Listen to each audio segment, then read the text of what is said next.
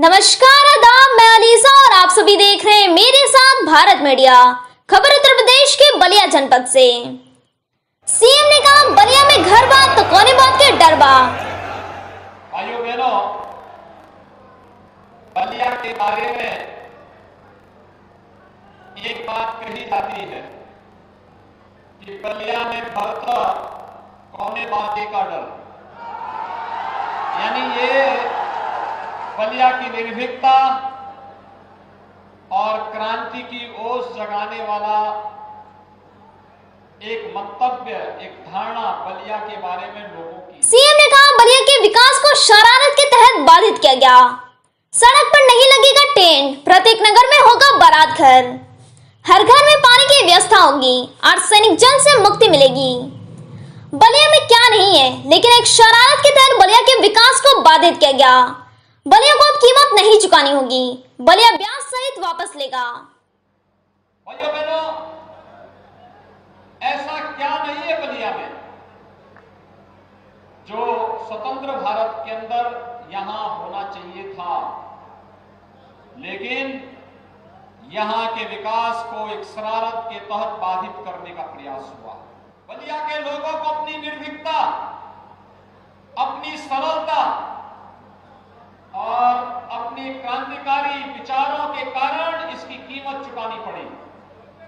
लेकिन भाइयों बहनों, आज बलिया को कीमत नहीं चुकानी पड़ेगी, बल्कि बलिया अपनी कीमत वसूली करेगा। मैं ब्याज सहित वसूली कर रहा है और नगर का हर घर में पक्का, प्रत्येक घर में शौचालय सड़क पर नहीं लगेगा टेंट। प्रत्येक नगर में बनेगा बारात घर केवल नगरीय क्षेत्रों में अंदर बीस हज़ार एक सौ पिछहत्तर गरीबों को एक एक आवास मिला है। और मैं तो आज आपको कहने के लिए आया हूँ, ये डबल इंजन के साथ ट्रिपल इंजन को जोड़िए। नगरीय क्षेत्र में जितने भी गरीब होंगे, जिनके पास ज़मीन का थोड़ा सा भी टुकड़ा होगा, मकान जर्जर होगा, उन्हें ढाई लाख रुपए मकान के लिए प्रत्येक परिवार को पैसा डीबीटी के माध्यम से अकाउंट में आएगा। हाथ फैलाने की आवश्यकता नहीं पड़ेगी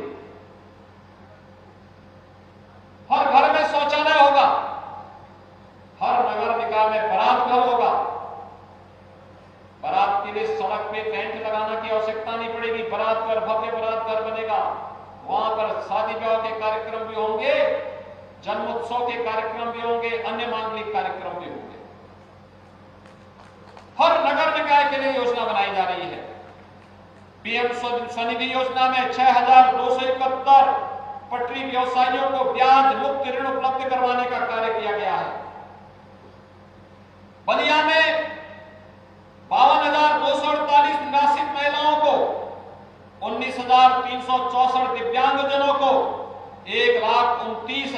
201 वृद्धजनों को बारह हज़ार रुपए सालाना पेंशन की सुविधा का लाभ आपके जनपद में उपलब्ध कराया जा रहा है। और भाइयों बहनों, दो लाख बयालीस हज़ार दो सौ एक आयुष्मान भारत के गोल्डन कार्ड अकेले बलिया के अंदर जारी किए गए हैं। भाइयों बहनों, बलिया में सीएम ने कहा, बलिया में दो नगर पंचायत नगरम और रसड़ कला का सृजन हुआ।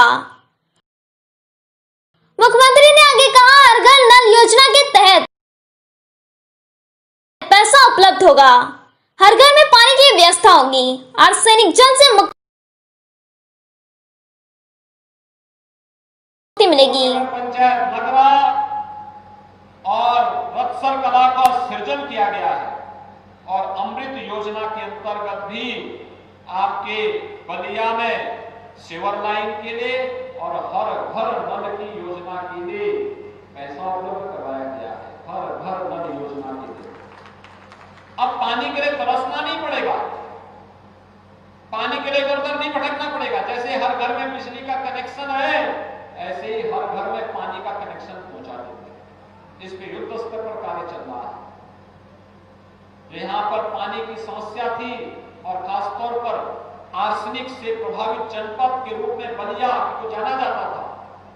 आज भाइयों बहनों, उससे मुक्ति मिलेगी। पूर्वांचल एक्सप्रेस हाईवे का पहले से ही यहाँ पे लिंक वे का निर्माण कार्य का शिलान्यास हो चुका है। मेडिकल कॉलेज के लिए मैं पिछले दिनों स्वयं प्रदेश के मुख्य सचिव को लेके यहाँ आया था। और हम लोगों ने कहा, यहाँ की जेल को स्मारक के रूप में बदल करके जिला चिकित्सालय और मेडिकल कॉलेज के लिए शेष ज़मीन दे दो और जेल को हम शहर के बाहर कहीं और जगह शिफ्ट करा देंगे। एक नई कार्य योजना के साथ बलियाद आगे बढ़ रहा है। और भाइयों बहनों जब विकास की प्रक्रिया तेज होती है तो आज उस पर बेहतर उपयोग करने की आवश्यकता है। और उस बेहतर उपयोग के लिए ही मैं आज आपके पास आया। अंत में मुख्यमंत्री ने बलिया से निकाय चुनाव में उतरे भारतीय जनता पार्टी के सभी प्रत्याशियों को जनता के सामने लाकर उनके लिए वोट मांगे। पार्टी ने नगर निकाय में नगर पालिका बलिया और रसड़ा में भी अपने प्रत्याशी दिए हैं और सभी नगर पंचायतों में अपने प्रत्याशी उतारे हैं।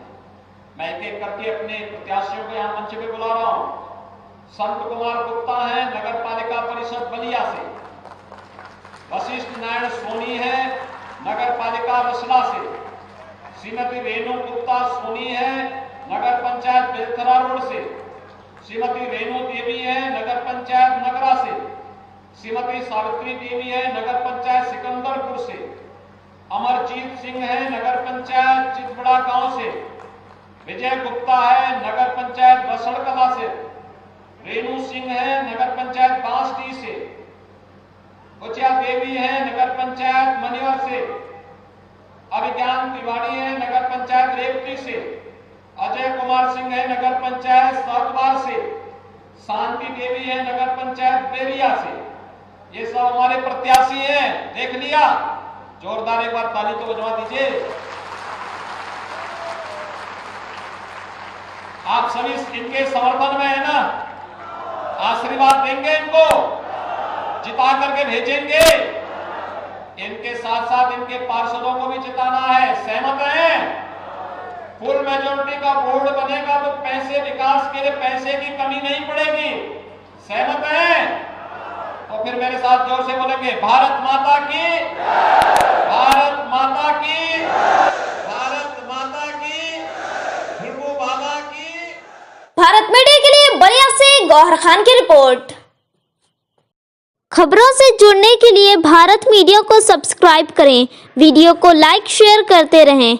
नोटिफिकेशन के लिए बेल आइकन को दबा लें। ऐसी ताज़ा खबरों के लिए बने रहें भारत मीडिया के साथ।